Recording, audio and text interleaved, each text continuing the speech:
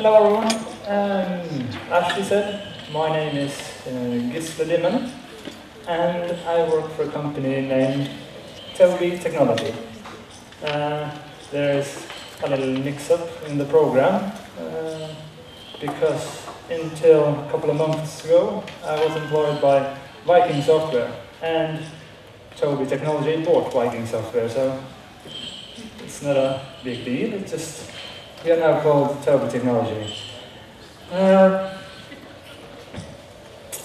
well, um, just uh, as a, just going to say, if you want to interrupt me throughout my presentation, that would be okay, and we'll have some time afterwards. A little presentation. Uh, Technology is a leading vendor in technology in, in, solutions regarding eye tracking. Uh, we're founded in 2001 uh, by students, uh, Swedish students who wanted to uh, improve uh, eye tracking. they looked at the systems out there and they saw a way to make another one which they thought was better. So hopefully we could meet some of the requirements that John Hansen had earlier.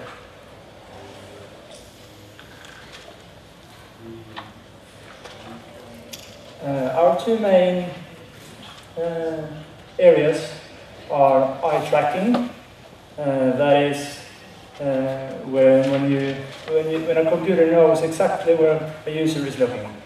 Uh, it's used for research, uh, both academic and uh, market research. we can use the technology to, to do research on, on where someone should put their product on a shelf. So we know where you're looking. Uh, and uh, we're going into eye control. That's when you can uh, interact with a computer using gaze uh, Tobii eye control. Uh, how is it used? Well, uh, you just sit down in front of the computer or the screen and the system automatically detects the person in front. Uh, there is uh, a one-time calibration uh, to improve the accuracy of the system, but then you're you're free to go. Uh, as I said, the system remembers you, so it's a one-time only calibration.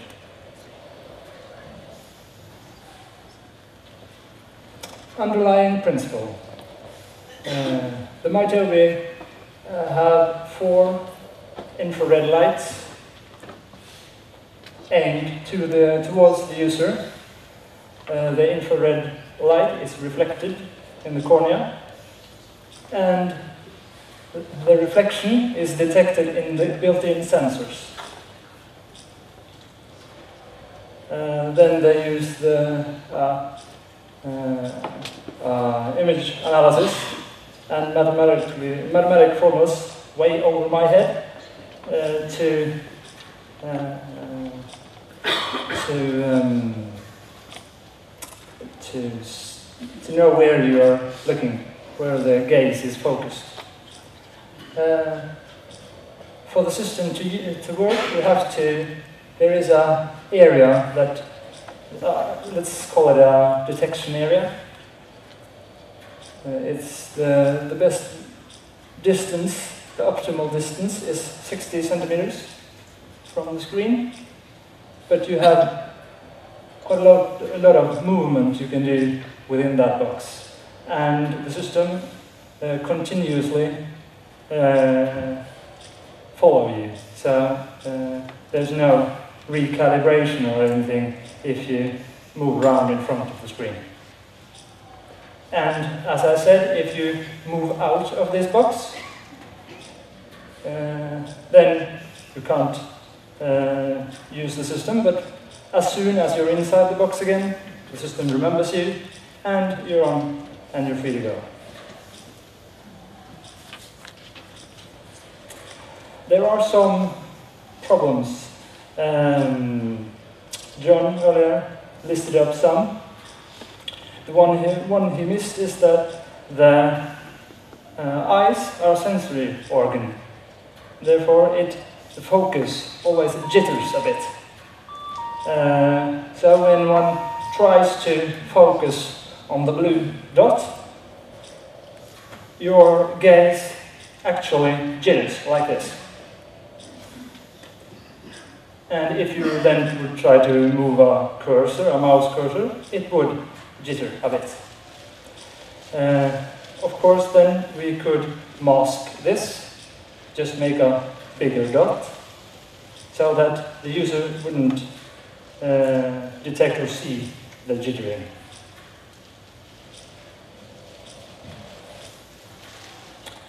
Another problem is mouse cursor. Uh, as I said, the eyes are a sensory organ, and it detects movement. Uh, therefore, if everyone, it's a little bit of a challenge for you, if everyone tries to look at the red star, now, you will experience that your eyes will follow the mouse cursor. So if there is a mouse cursor moving around on screen, your eyes will automatically try to follow it. So you would have a, an offset. Of course, with a bit of training, you can, of course, use uh, the moving of the cursor. But what we have done is to move the, take away the cursor. And as I said, we filtered the gaze data. And we've used the thing that movement attracts gaze.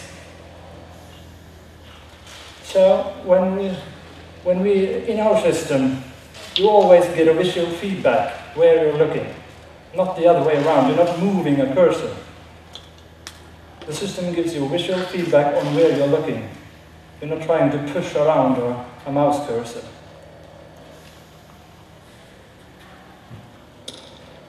Why do the world need another eye tracking system? Why is this developed? As I said, three students, uh, I didn't say three, but now I said it.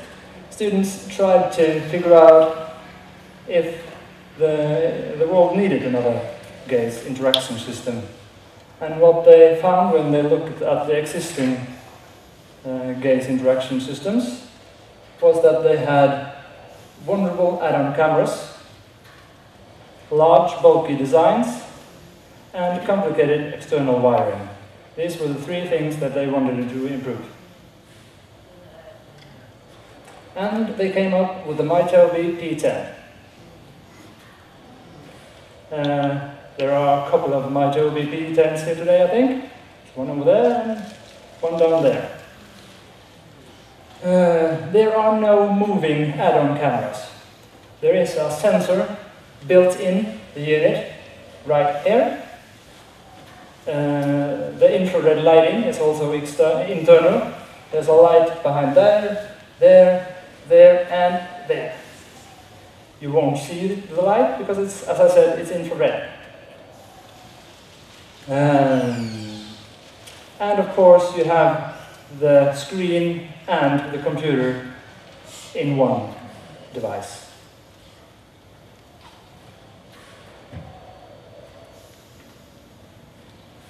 MyTobii uh, have patented their uh, gaze attracting system and it improves accuracy because movement attracts. Uh, it, as I said, it compensates for head movements, and it is a device developed for communication. The P10 is, the, uh, is designed for communication. Of course, we have other systems that are for market research, but this one is for communication and computer interaction.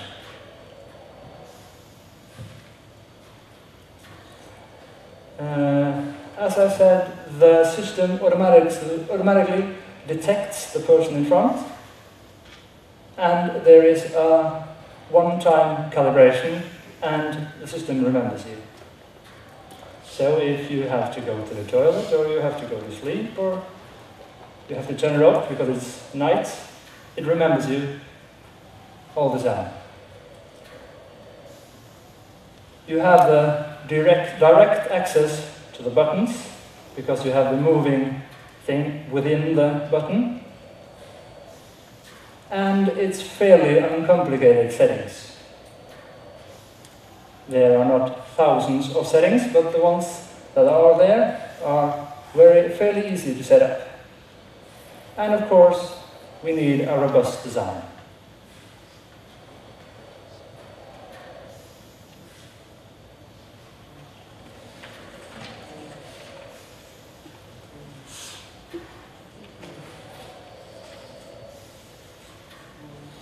The MyTobii software uh, is continuously updated with free updates. Uh, the last uh, update was the chat, which support MSN chatting, online chatting, the web browser, and the document browser.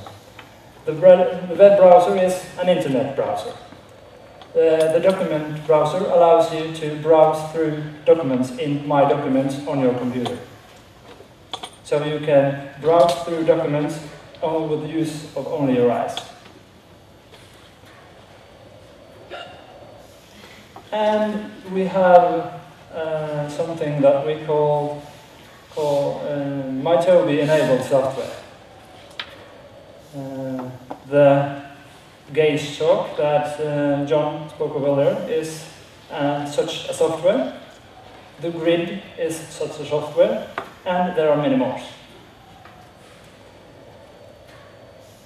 Uh, in, as I said, uh, Tobii bought Viking Software, and Viking Software have developed a communication and access system. It's a, it's a computer program that lets you access your computer and use it for communication.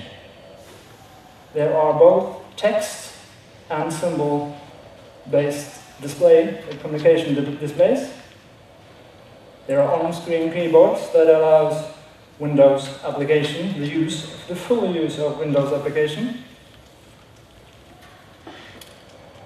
And it's uh, fast and easy to customize. So you can change the appearance, you can change the layout, and you can uh, change the content in the displays. It also has plugins enabling, of course, writing uh, with word prediction, SMS, email, and environmental control. I didn't say this earlier, but the MyTobii also has a built-in environmental control. So you can uh, turn on and off your TV set, your CD player, radio, whatever. As long as, of course, as long as the, the, the systems that you want to uh, turn on, on and off or set in play, they have to have infrared control, of course.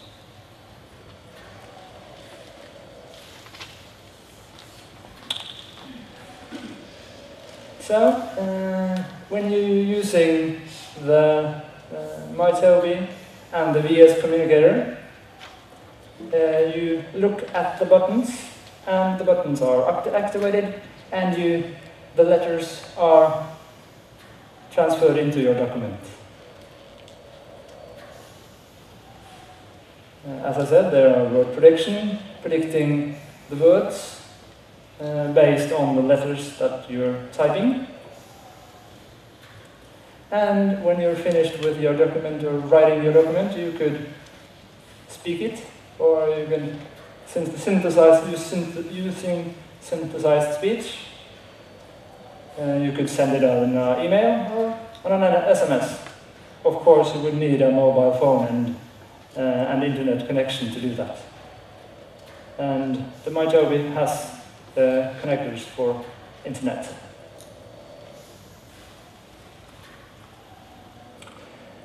the VS communicator also has a lot of on-screen keyboards, customizable on-screen on-screen keyboards, with, uh, of course, again with word prediction. These buttons, uh, when they're customizable, uh, I don't know if everyone knows what that means, but of course, then you could make it bigger, smaller, have less functionality, more functionality, whatever you need. Uh, on on-screen keyboard, meaning that you can use an on-screen keyboard to write into a Windows application, being Word, Excel, PowerPoint. So just look at the letters and they are sent into your document. And you can store it and use it as anyone, and anyone else would use uh, the documents. You can send them on an email or print them out. The VS Communicator has lots of ready-made displays. Uh, they are organized in tabs. This is the text tab. This one. And these are some of the ready-made keyboards. You have symbol or pictures there, in email, SMS, and you have a My Displays folder. Uh, every uh, display that you customize or you uh, start from scratch making a communication display, it would end up in My Display folder. So you can access it through there. So, what do you need?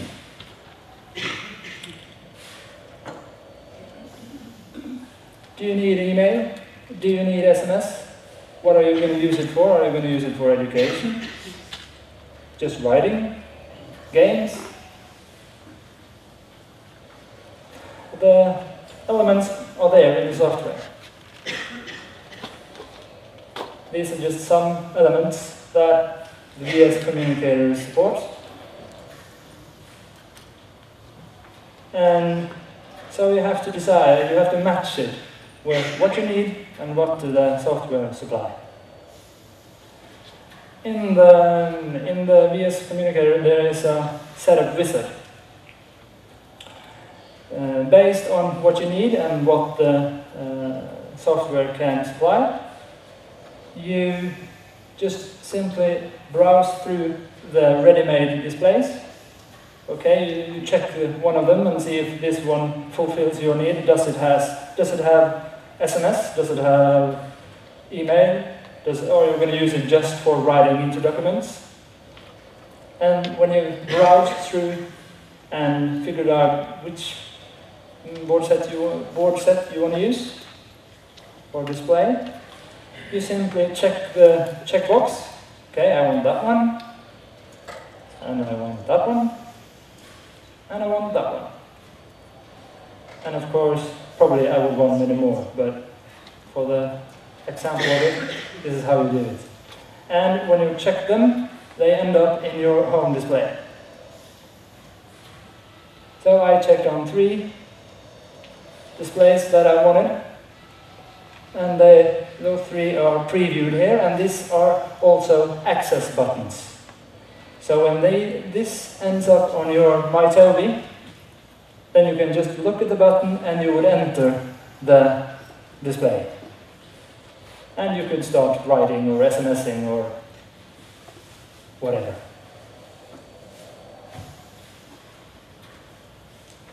So far so good?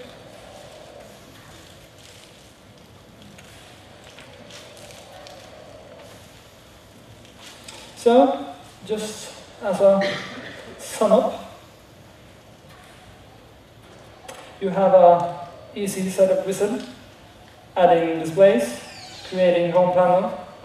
You can also use the setup wizard to configure your communication device, that being uh, just setting up the mobile phone that you want to use for SMS, or setting up the email account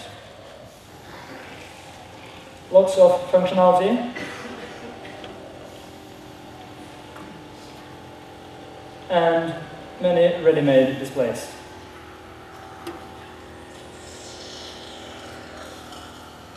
And the MyTobii, all in one, all in one unit, rough, stable, no adjustments. You just simply sit down in front of the system, the system detects you, see if it remembers you. If you're new to the system, you have to do one calibration, and then it's just to improve the accuracy.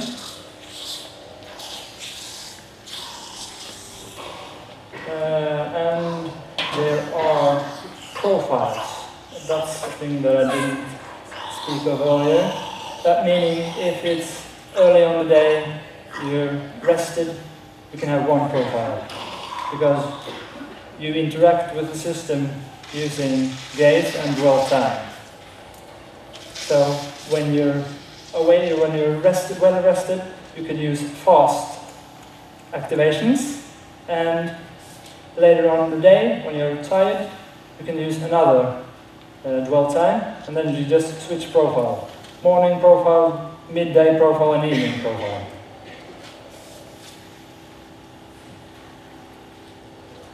And there are a huge track box.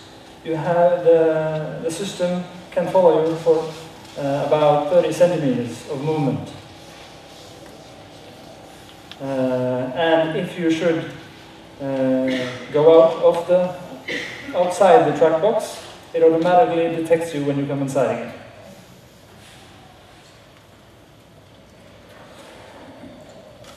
Some of you might wonder where we are. Well, Tobii Technology are based in, uh, are in Norway, Sweden, uh, Germany, and the US.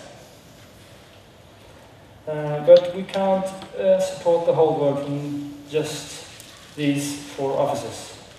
So we rely on a huge reseller network. So uh, through resellers, we are uh, in, think it's 20 countries now, I think, uh, all over Europe, except Iceland. Uh, in Denmark, it's Fanesoft. And in Sweden, it's actually not ourselves, we, we work with Permobil. And, but in Norway, we do direct sales through the technical aid centers. So, any more, uh, if you want any more uh, information, just go to the website www.tobii.com and please feel free to contact us outside.